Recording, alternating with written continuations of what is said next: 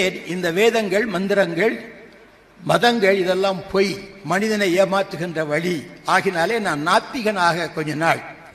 அந்த பெரியாருடைய சொற்பொழிவை கேட்டு நாத்திகனாக ஒரு மூன்று ஆண்டுகள் இருந்தேன். ஒரு நாள் அவருடைய ஒரு பிரசங்கம் நடந்தது. அவர் பேச எழுந்தபோது லேசாக மழை தூறிற்று. உடனே அவர் சொன்னார் "அட ஆண்டவனே இப்பதான் மழை வரணுமா? அப்படின்னார். எல்லாரும் நீங்கள் சிரிக்கிற மாதிரி சிரிச்சாங்க. அவர் விளங்கிக்கிடுச்சு ஒன்று சொன்னார். அப்படி சொன்னதானே நீங்கள்லாம் சிரிப்பீங்க? சிரிப்பீங்க அதுக்குத்தான் சொன்னேன். சமாளிச்சார். இரவில் நாங்கள் அவர்கிட்ட கேட்ட ஐயா நீங்கள் இல்லவே இல்லைன்னு சொல்கிறீங்களே ஏன்? அப்படின்னு கேட்டோம்.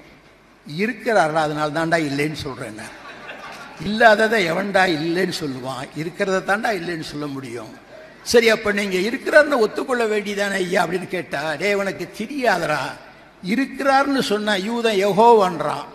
கிறிஸ்தவன் இயேசுங்கிறான் முஸ்லீம்கள் அல்லான்றாங்க. நம்ம இந்தியாவில் இந்துக்கள் முப்பத்தி மூணு கோடி தேவர்கள்னு சொல்றாங்க. ஒருத்தனுக்காவது ஐம்பது பேர் கூட ஞாபகம் இருக்காது.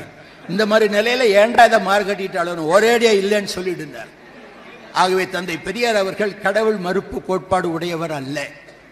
ஆதியிலே சாதி இல்லை என்று சொன்னார். ஏனென்றால் அவர் படித்த வகுப்பிலே பிராமணனுக்கு தனி தண்ணீர் பானையும் தனி டம்ளரும் தனி இடத்துல இருக்கும் மற்றவர்களுக்கு வேறு பானையில தண்ணீர் இருக்கும். இதை அவர் எதிர்த்து சாதி இல்லை என்று சொன்னார். சாதியை வேதம் சொல்லுகிறது என்று சொன்னார்கள். வேதம் இல்லை என்று சொன்னார். வேதத்தை ஆண்டவன் கொடுத்தார் என்று சொன்னார்கள். போட ஆண்டவனே இல்லைன்னு சொல்லிட்டார்.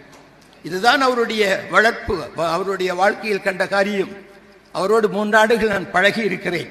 தங்- தற்போது உள்ள வீரமணி அவர்களெல்லாம் அப்பொழுது சிறு நாங்களெல்லாம் ஒரு இளைஞர் கூட்டமாகத்தான் இருந்தோம். அநேகமாக எனக்கும் அவருக்கும் ஒரு வயதுதான் இருக்கும்.